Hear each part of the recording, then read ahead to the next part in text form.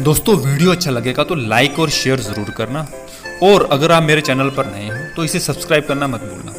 दोस्तों मैंने आपके टेस्ट व्यू से सारे सवाल इंपॉर्टेंट लिए हुए हैं। उम्मीद है आपको वीडियो अच्छा लगेगा। तो आइए शुरू करते हैं आज का वीडियो। हमारा पहला सवाल हाल ही में किस देश ने दुनिया का पहला पृथ्वी विज्ञान उपग्रह गुआ गमू लॉन्च किया है? दोस्तों चीन ने उत्तरी साक्षी प्रांत के ताइवान सैटेलाइट लॉन्च सेंटर से दुनिया का पहला पृथ्वी विज्ञान उपग्रह गुआगमू या S D G sat one अंतरिक्ष में लॉन्च किया है। दोस्तों, इस उपग्रह को चीनी विज्ञान अकादमी द्वारा लॉन्च किया गया और सतह विकास लक्ष्यों के लिए बिग डाटा के अंतर्राष्ट्रीय अनुसंधान केंद्र द्वारा विकसित किया गया था।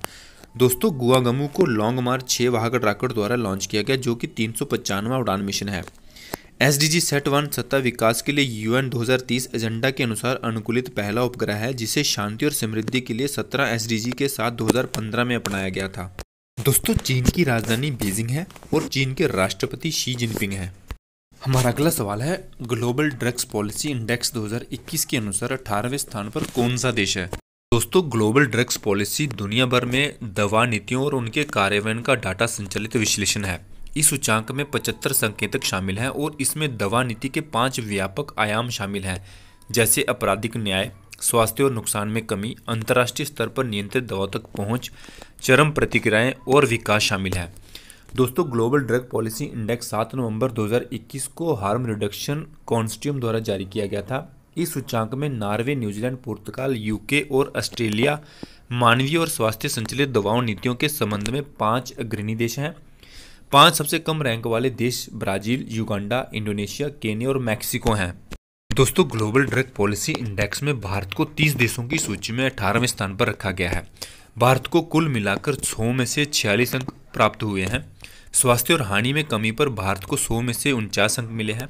आपराधिक न्याय प्रतिक्रिया और अनुपातिकता पर भारत को सौ में से अड़तीस अंक मिले हैं। दर्द और पीड़ा के राहत के लिए अंतर्राष्ट्रीय स्तर पर नियंत्रित पदार्थों की उपलब्धता और पहुँच पर भारत को सौ में से तैतीस अंक प्राप्त हुए हैं। हमारा अगला सवाल फेडरेशन इंटरनेशनल डी जिम्नास्टिक के अध्यक्ष के रूप में फिर से किसे चुना गया है? दोस्तों, मोरिनारी वतनवे को तीन साल की अवधि के लिए अंतर्राष्ट्रीय जिम्नास्टिक फेडरेशन, यानी कि फिक के अध्यक्ष के रूप में फिर से चुना गया है। तुर्की में एक सम्मेलन के दौरान आयोजित फिक राष्ट्रपति चुनाव में मोरिनारी वतनव ने अजरबैजान के दावेदार फरीद गोयवाब को हराया था। इससे पहले उन्होंने 2016 में चार साल के लिए कार्यालय के लिए फिक के अध्यक्ष रूप में चुना गया था। दोस्तों, अंतर्राष्ट्रीय जिम्नास्टिक महासंघ की स्थापना 23 जुलाई अठारह सौ इक्यासी में हुई थी। अंतर्राष्ट्रीय जिम्नास्टिक महासंघ का मुख्यालय स्विट्जरलैंड के लोसाने में है। हमारा अगला सवाल भारत के अगले नौसेना प्रमुख के रूप में किसे नियुक्त किया गया है? दोस्तों, केंद्र सरकार ने vice admiral R Hari Kumar को अगले नौसेना प्रमुख के रूप में नियुक्त किया है। वे वर्तमान में पश्चिम नौसेना कमान के flag officer commanding in chief हैं। वे 30 नवंबर को अपना नया कार्यकाल संभालेंगे। वर्तमान नौसेना प्रमुख एडमिरल करमवीर 30 नवंबर 2021 को सेवा से रिटायर होंगे। हमारा अगला सवाल है, डीआरडीओ ने किस देश के साथ मिलकर नवोन्मेष और दोहरे उपयोग वाली तकनीक विकसित करने के लिए शोध को बढ़ावा देने के लिए करार किया है? दोस्तों, भारत और इसराइल ने हाल ही में तकनीकी सहयोग और प्रगाढ़ बनाने के लिए नवाचार के क्षेत्र में एक द्विपक्षीय समझौते पर हस्ताक्षर किए हैं। ये समझौता डीआरडी और डीडीआरएनडी और इसराइल के बीच हुआ है। भारत और इसराइल ने ड्रोन, रोबोटिक, कुकरीम, बुद्धिमत्ता और क्वांटम कंप्यूटिंग समेत अगली पीढ़ी की प्रौद्योगिकी और उत्पादों के संयुक्त रूप से विकास हेतु समझौता किया है। हमारा अगला सवाल, हाल ही में भारतीय नौसेना को प्रोजेक्ट 75 के तहत चौथी स्कॉर्पियन पनडुब्बी सौंपी है, उसका नाम क्या है? दोस्तों, भारतीय नौसेना के प्रोजेक्ट 75 के तहत चौथी पनडुब्बी वेला सौंपी गई है। प्रोजेक्ट 75 में स्कॉर्पियन क्लास की छः पनडुब्बियाँ शामिल हैं। ये सभी पनडुब्बियाँ मेड इन इंडिया हैं। अब तक जितनी भी पनडुब्बियाँ इस प्रोजेक्ट के तहत बनी हैं, उन्हें मजगांव डाकशिप बिल्डर लिमिटेड, यानी कि एमडीएल मुंबई में बनाया गया है। इसका फ्रांस के मैर्सिस नेवल ग्रुप के साथ समझौता है। वेला पुंडुबी को बनाने की शुरुआत 6 मई 2019 को हुई थी। इसके बाद इसके बंदरगाह और समुद्र के अंदर जुड़े ट्रायल, जिनमें हथियार और सेंसर का ट्रायल भी शामिल है। हमारा अगला सवाल, हाल ही में 5G स्मार्टफ़ोन लॉन्च करने वाला पहला इंडियन ब्रांड कौन बन गया है?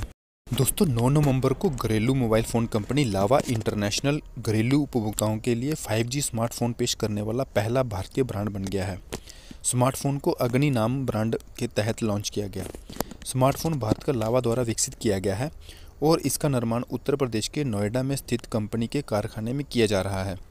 लावा इंटरनेशनल के अध्यक्ष और व्यापार प्रमुख सुनील रैना हैं।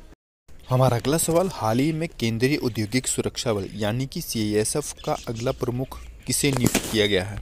दोस्तों, भारतीय पुलिस सेवा के वरिष्ठ अधिकारी शील वर्धन सिंह को केंद्रीय औद्योगिक सुरक्षा बल, यानी कि सी का प्रमुख नियुक्त किया गया है।